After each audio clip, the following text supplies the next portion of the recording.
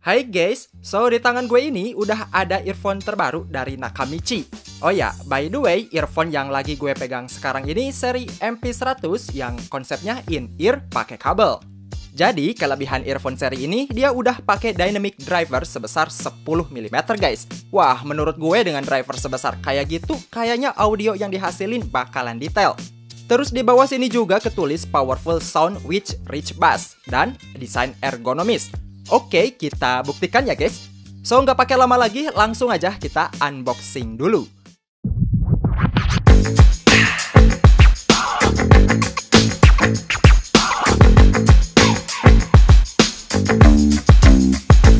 Nah, pas awal dibuka kita dapat pouch. Wih, lumayan nih.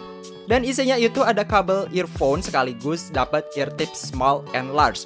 Terus ada manual book dan ini dia earphone-nya guys. Jadi desain earphone Nakamichi MP100 ini si kabelnya bisa dilepas pasang gitu ya guys. Dan salah satu yang jadi daya tarik gue karena desain earphone-nya yang transparan gini. Nyaris mirip sama earphone yang harganya jutaan itulah.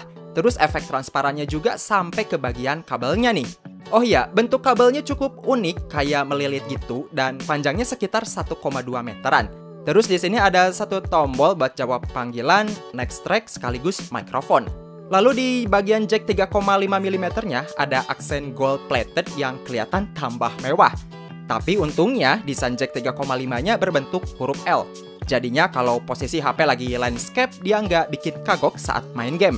Fitting saat dipakai kerasa nyaman, enteng, dan mudah nyesuaiin sama bentuk kuping. Malah kelihatan kayak musisi lagi konser gitu ya. Udah gitu saat nempel di kuping cukup kedap banget. Lanjut buat dengerin musiknya di sini gue pakai Apple Music dengan fitur Dolby Atmos-nya dimatiin biar suara aslinya kedengaran dengan jelas. Dan hasilnya, wow, ternyata bassnya itu gak seperti yang gue kira. Bassnya nendang tapi bulat atau rapi gitu guys.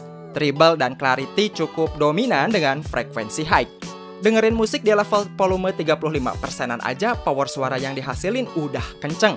Mungkin karena frekuensi high dan dynamic drivernya yang cukup besar di 10 mm. Biasanya gue pakai earphone ini buat dengerin musik ngebeat sambil olahraga santai gitu.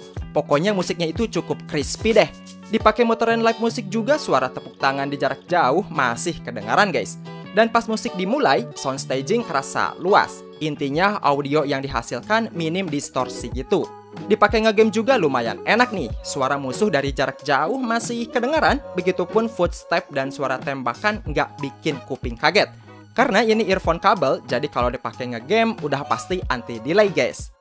Nah guys, jadi kayak gini contoh audio yang ditangkap mikrofonnya Nakamichi MP100. Dan kurang lebih kalau dipakai komunikasi atau main game, hasilnya kayak gini guys. Gimana performa mic-nya? Kalau kata gue sih ini lumayan jelas. Menurut gue, Nakamichi MP100 ini sangat cocok untuk kamu yang sampai sekarang ini belum bisa move on ke earphone wireless. Dan faktanya, kalau dipakai ngegame, anti-delay. Dengerin musik juga karakternya sangat detail, jernih, ngebas banget, tapi si bassnya nggak lebay gitu guys. Desainnya juga cakep, nggak kelihatan kayak earphone abal-abal. Paling yang jadi kelemahannya, dia nggak punya tombol volume di earphone-nya. Udah, itu aja. By the way, earphone seri MP100 ini baru aja rilis eksklusif di Bukalapak 14 Februari 2022. Harga normalnya sekitar 900 ribuan gitu. Tapi kalau kamu order sekarang, dapat potongan harga 59% jadi 380 ribuan aja. Ditambah lagi bonus voucher senilai 50 ribu guys. Wah, gue gak nyangka nih kualitas kayak bintang 5 tapi harganya kaki 5. Dan oh ya, linknya udah gue taruh di kolom deskripsi and see you.